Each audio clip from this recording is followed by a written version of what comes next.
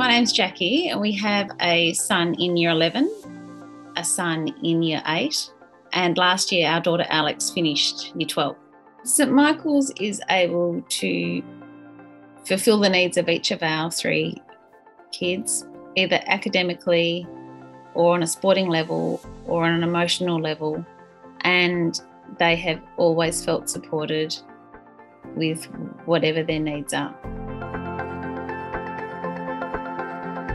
When we met graduates, so that you know young adults who had been at the school, we were so impressed time and time again with these well-rounded, um, outwardly focused, well-mannered um, kids that it really attracted us. And so many times the St Michael's kids were just delightful, and that's when we looked into it.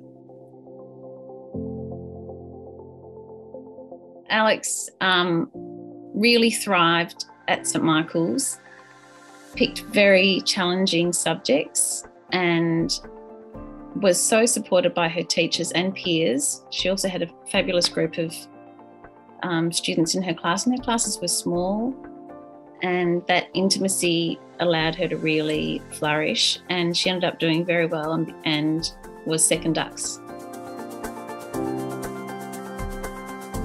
The size of the school was great for Alex. She was able to, she's quite shy, but was able to really flourish and represent the school in sport and, and academia. And so I suppose the school was really able to provide Alex an environment to um, do everything, try everything, and and become the person she is today. Kosci the Coast, where you start at Mount Kosciuszko and make your way to the coast through snow and rivers and all sorts of terrain, was a fantastic experience. She um, had a fabulous group of people, great OEG leaders, and the three weeks away from the family was the first time she'd been away that long, and it proved to her that she could, you know, survive and flourish in that in that way. And yeah, she she absolutely loved it, and it's now become a compulsory activity for everyone in the family. I love the teachers. They're um, a very diverse group.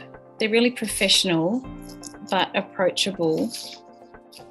And I feel like I could talk to any of them if we needed to. The Navigator meetings, which I think we have periodically, are fantastic, and we have one person who looks over looks after both our kids. And she knows what's going on. If there's any issue i just ask her and she she deals with it internally. And um, it's quite open. It's you know the we the kids do it with us and it, I, it's just a really way to stay connected, and it, I think it works. The community at St Michael is, is very diverse. It's drawn from a large catchment in Melbourne, and um, I love that about it. There's all sorts of representation, and I think St Michael's allows all those people to different backgrounds and different religions and um, to, to come together and just be together in one community. What I like about St Michael's the most is the the whole person that they develop.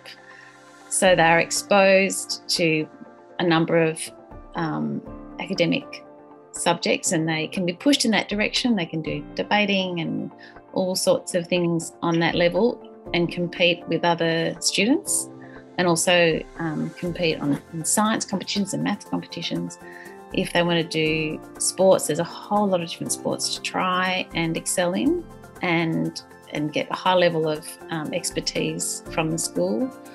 And then spiritually, they are also encouraged to care for others, to look out for others, to look at their, their school grouping and then beyond.